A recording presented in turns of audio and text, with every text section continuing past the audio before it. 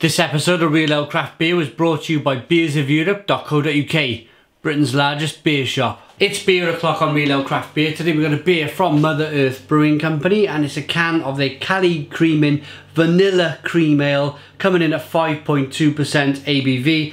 Lovely, lovely design work on this can of craft beer. I'm not sure if I've ever had a vanilla cream ale before. Sounds lovely. Should we get the can out into a glass and see what we get? Nice bit of smoke on the can opening. Beer in the glass then.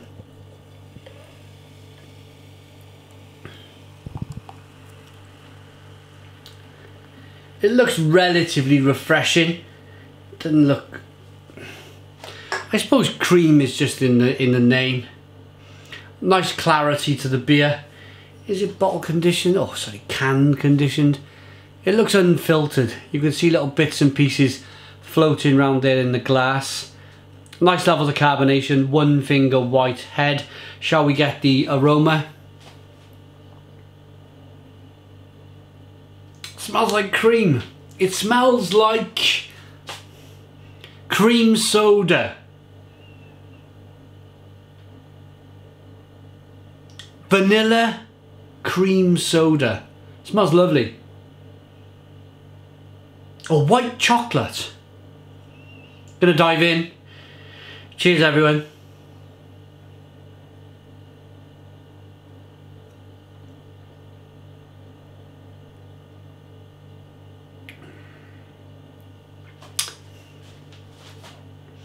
Oh man. Stone the Crows. That is the most extraordinary beer I think I've had in four months. That is astonishingly good. Actually, it's it's the most extraordinary beer I've had since the Syntax Imperial Stout, which was amazing.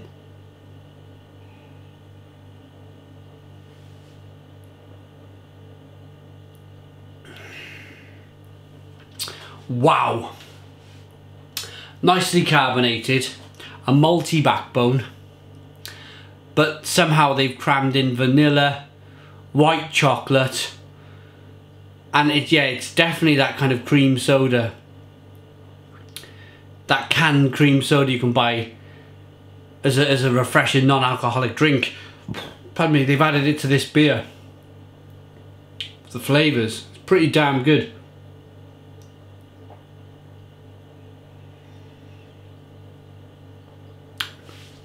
And when you read cream, this is the difficulty with probably trying to sell this beer in that it tastes amazing, but picking this up on the shelf and getting over the fact that it's got Cali cream and vanilla cream ale written all over it, you kind of think in your head it's going to pour out like an ice cream, don't you?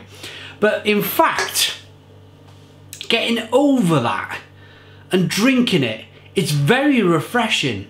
It's just a cream flavour. Really, really interesting beer.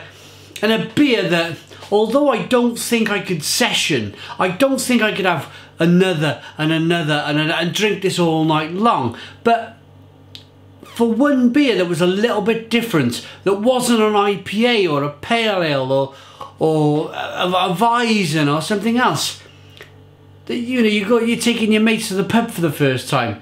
This could be something which you could say, hey boys, hey lads, try this out. It's really different. And it would be kind of quite, quite happy to sit there with the one beer and, and enjoy it.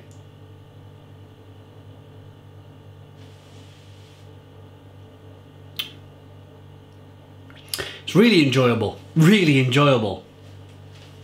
Get over that mental block of it being really creamy and, and, and, and awful sounding for a beer and you love this. It's really good. If you like beer you'll like this, this drink.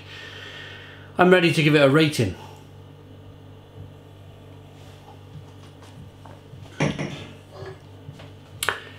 For me this beer is unique and I like especially after reviewing so many different beers we're nearly hitting 3,000 beer reviews now.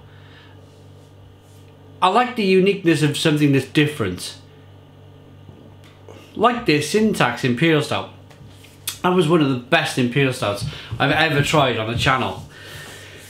I'm going to rate it. I'm going to give this an 8 out of 10.